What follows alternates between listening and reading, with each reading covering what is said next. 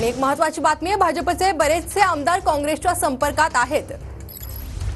तर काँग्रेस प्रदेशाध्यक्ष नाना पटोले यांनी हे मोठं विधान केलेलं आहे.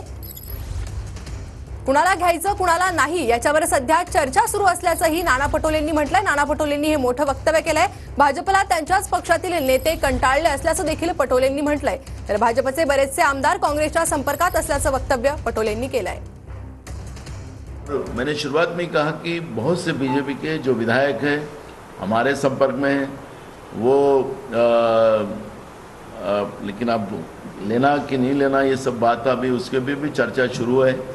तो बीजेपी से परेशान कई नेता लोग हैं कि उनकी जो नीतियाँ है वो जनहित वाली नहीं जन जन के विरोध वाली नीतियाँ हैं। और इसलिए बहुत सारे लीडरशिप जो दूसरे दल की है वो हमारे दल में आने के लिए इंटरेस्टेड है।